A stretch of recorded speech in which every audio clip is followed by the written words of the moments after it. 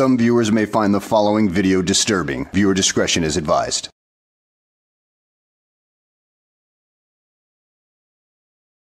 Well, hello and welcome back to the channel, everybody. In today's video, we find ourselves in Michigan in the court of Judge Middleton as he ends up taking on a sovereign citizen for traffic violations. And, well, the sovereign citizen doesn't stand much of a chance against uh, Judge Middleton. And, uh, well, this particular sovereign citizen is not exactly as feisty as a lot of others, but still he uh, backtalks him a little bit, and uh, well, Judge Middleton doesn't have any of it. So let's go ahead and sit back, relax, and enjoy the show. Jacques Levis Scott, would you come right up to the podium, please? Give me the top copy of your advice of rights. Right, the thing in your hand. Bring that right up to me.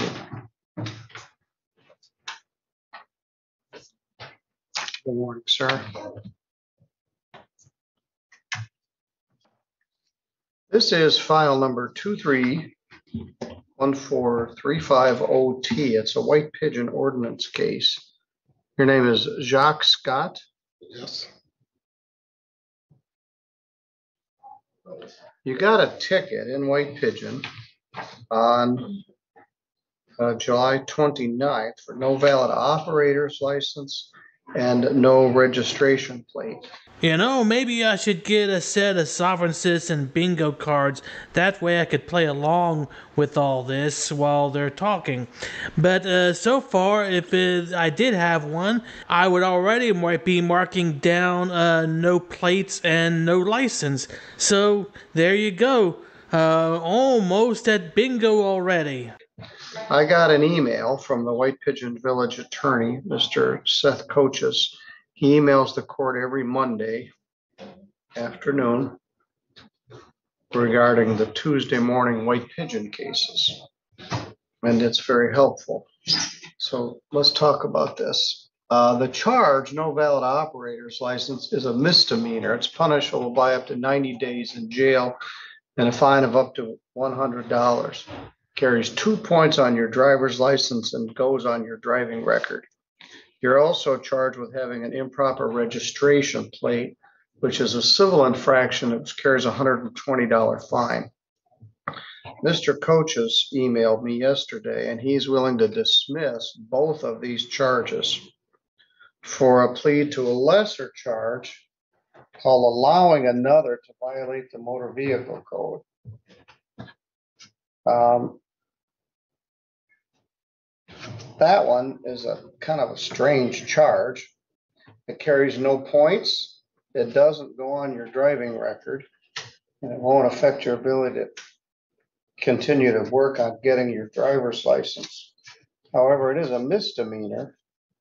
It's punishable by up to 90 days in jail and a fine of up to $100. The normal fine is $100 plus costs. The other charges would be dismissed. It sounds like a pretty good deal to me, but you know, most sovereign citizens would rather take uh, the more stern charge and go pro se rather than uh, take the deal. But let's see what happens with this Sovtard. Will he take the deal or will he become even dumber? So let's carry on and watch it. The public defender, Mr. Keith Stickley, has joined us.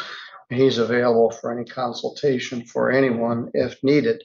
But Mr. Uh, Coaches, the White Pigeon Village attorney, has agreed to save you $120 by dismissing the other ticket and two points and putting this on your driving record if you plead to allowing another to violate the motor vehicle code. Are you willing to plead to that lesser charge?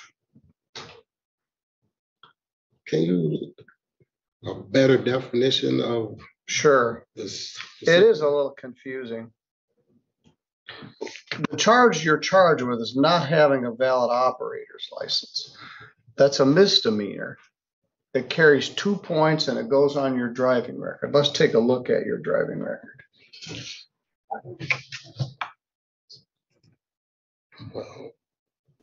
I'm practicing under the constitutional right to travel. I had to turn that up so everybody could hear it. But he's uh, saying to his lawyer that he has a constitutional right to travel. Well, of course he has a constitutional right to travel. It's just that the method of travel is often the one that's uh, licensed, taxed, and everything like that. I mean, yeah, you can go from state to state with no problem, but Sovtard, you need to learn these laws because otherwise they'll just get you into more trouble along the lines. So straighten up and fly right, my man.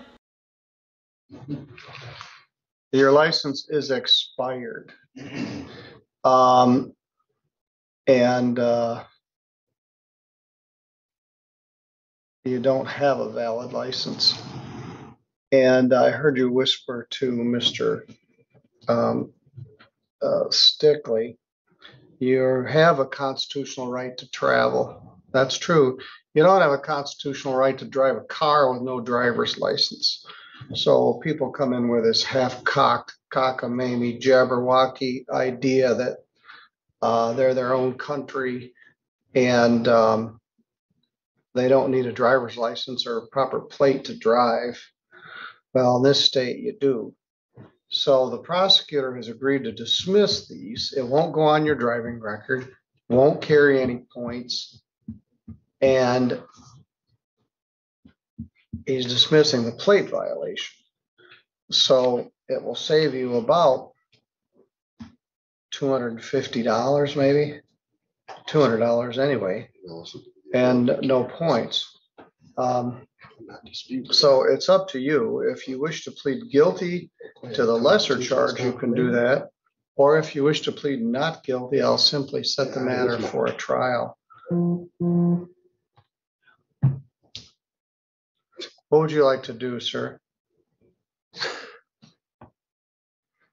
Seeing my circumstances of what I'm dealing with. Um, what's the second option you stated?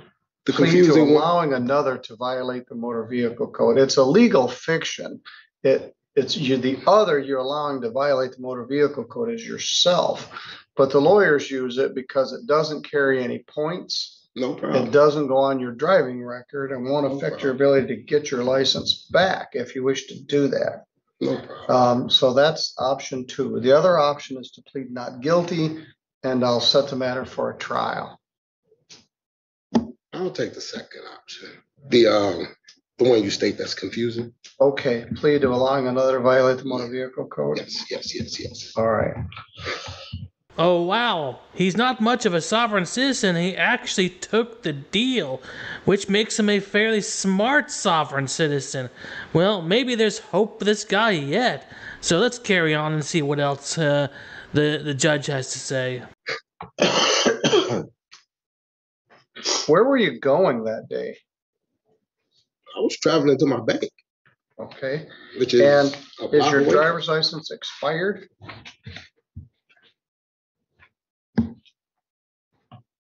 I don't have a license. All right, that's good enough. Now, you had a driver bring you today? Yes. Very good. Well, this will save you hundred and twenty bucks off of that.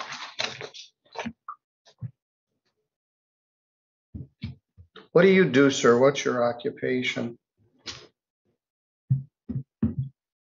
Security. Very good. You still live in White Pigeon? Yes. White Pigeon's a little town. If they see you driving, they'll pull you over again. Just a word of caution.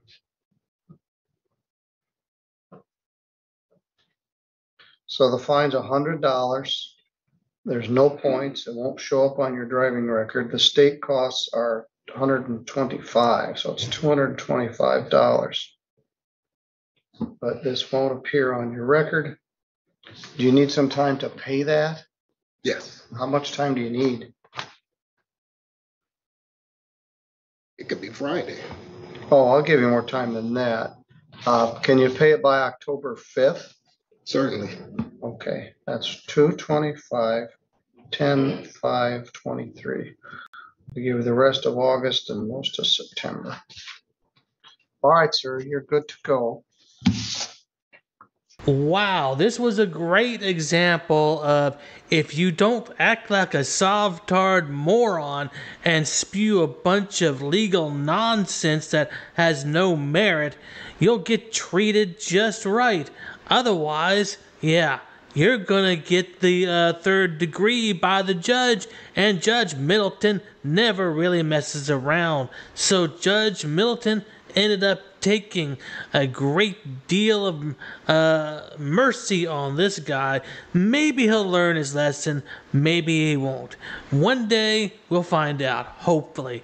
I hope this guy does turn it around and realize that this sovereign citizen stuff is nothing but a bunch of Bora Grove nonsense.